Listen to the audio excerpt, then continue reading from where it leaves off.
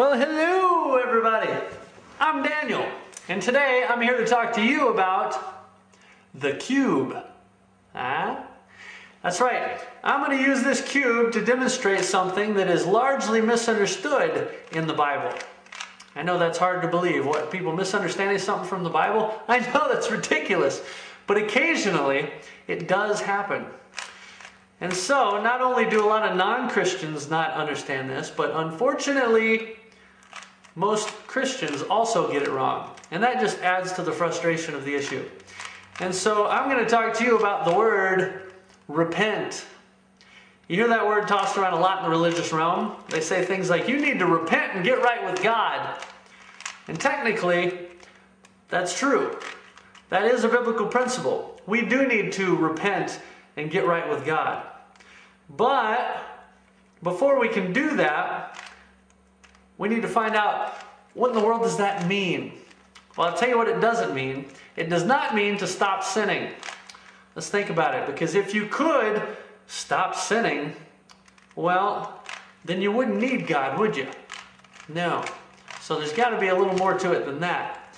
So if, uh, if you actually look it up, repent, it means to change one's mind, to regret, to turn away from.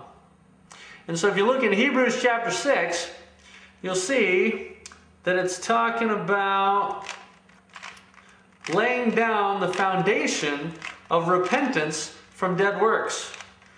Okay, so what's the foundation? Well, it's repentance from dead works. Okay, well then what are dead works? Well, if you read on the next couple of chapters, you'll see like Hebrews chapter 10 is talking more specifically about Old Testament rules and regulations, like blood sacrifice, uh, ritual washings, all the different Old Testament legalistic whatnot. And today we don't necessarily do a lot of those same things, but we do have our own works of self righteousness. And so those are more along the lines of, oh, I don't know, um, giving money to the poor, helping to, to feed the hungry, uh, volunteering at the soup kitchen, helping little old ladies across the street, being active in the PTA, uh, helping to coach your, your kids' little league team and stuff like that. Now, these things are good, and don't get me wrong, we should do good things. Yeah, that's why we call them good. But the thing that we don't want to do is we don't want to get confused and start start thinking that our good stuff is going to earn us anything. All right? Because look at this. If I work really hard, maybe, just maybe, I can master this thing and, and it'll all be solved and perfect. And look at that. I've got it all figured out. I deserve good things. Yeah. Well, see, here's the deal. You can fool some of the people most of the time. And you can fool most of the people pretty much all the time. But the one thing that you can never do is fool God. Because, see, God sees everything, not just the outward appearance, but everything. He knows the thoughts of your mind, He knows the intent of your heart. He knows you better than you know yourself. And if I go to a competition, am I going to get bonus points for being mostly solved? No, I'm going to be a loser just like everybody else. And that's the way it works in God's kingdom. Because my self righteousness is only going to take me nowhere. The Apostle Paul makes the point. He says all his works of righteousness were like filthy rags. So that's like saying, hey, God, look, look at what I made for you. Look at all the stinky, smelly rags. This one's like poo.